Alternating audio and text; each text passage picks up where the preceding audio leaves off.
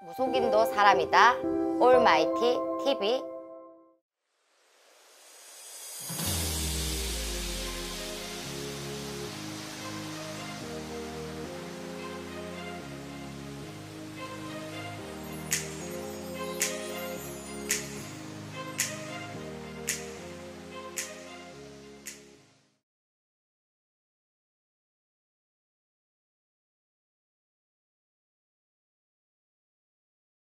안녕하세요. 홍현입니다.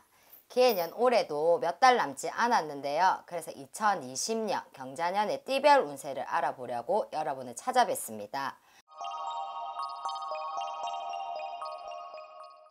그럼 이제 말띠 볼게요. 말띠 분들 용이 여의주를 얻어서 하늘에 오르게 되니까 의기양양한 형국으로 오랜 고생 끝에 얻는 기회라 하실 수 있어.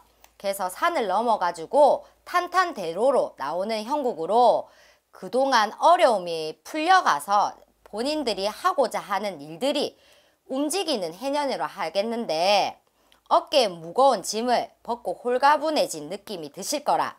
근데 다만 욕심은 조금 금물이셔. 첫 술에 배부를 수 없으니까 침착하게 행동하시고 타인의 모함이 심할 때이니 이 모함에 걸, 말리게 되면 간제까지 갈 수 있으니까 사람 믿지 말라는 말씀 꼭 드리고 싶어.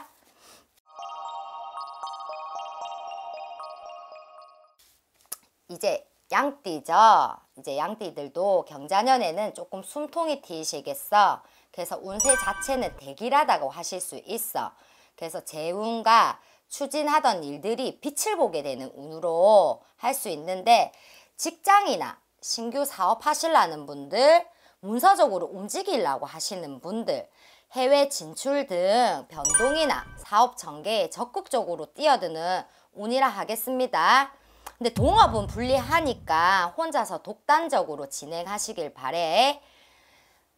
운도 받쳐줘야 하지만 자신의 노력은 분명히 따라야 되는 걸 명심했으면 좋겠어. 지금까지 홍현이었습니다.